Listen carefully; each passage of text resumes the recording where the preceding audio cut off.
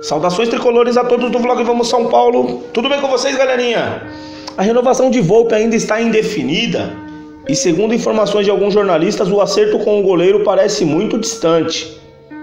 Alguns jornalistas que acompanham o dia a dia do São Paulo soltaram a informação de que o tricolor estaria com dificuldades para conseguir o valor solicitado pelo time mexicano. Volpe possui 44 jogos pelo tricolor desde que chegou ao clube no início do ano emprestado pelo Querétaro do México, onde acabou se tornando ídolo por lá.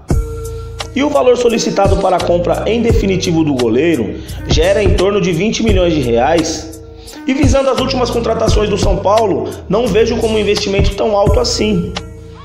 Lembrando que o São Paulo gastou muito mais com jogadores que não vêm atuando pelo São Paulo ou com jogadores que já foram emprestados. Jogadores esses como William Farias, que foi emprestado ao Sport e não atua mais pelo São Paulo Futebol Clube esse ano. O goleiro Jean, que veio contratado com um investimento alto na época, que foi comprado pelo Bahia após a saída do Rogério Ceni.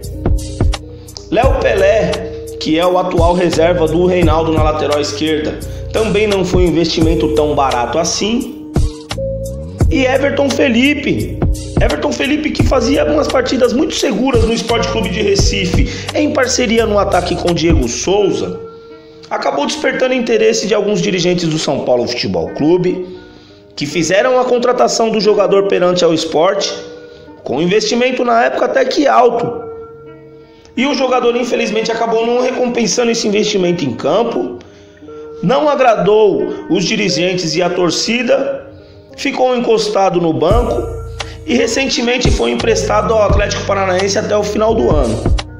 Galerinha, infelizmente, se o São Paulo não conseguir realmente contratar o Thiago Volpe pelo valor solicitado de 20 milhões de reais, nós teremos uma perda muito considerável no nosso gol. Lembrando que Thiago Volpe está sendo o goleiro mais seguro após a era de Rogério Ceni. E o São Paulo poderia muito bem correr atrás de um investidor para não perder essa oportunidade de perder esse excelente goleiro. E vocês, galerinha? O que vocês acham a respeito dessa situação? Qual seria a opinião de vocês com essa indefinição do caso Thiago Volpe? Deixe a opinião de vocês aqui nos comentários abaixo, que eu gostaria muito de saber a opinião de vocês para que nós possamos estar discutindo sobre esse assunto. Galerinha, muito obrigado a você que estiver acompanhando esse vídeo até o final. Caso você ainda não seja inscrito no vlog Vamos São Paulo, por gentileza, nos dê uma força aqui no nosso canal.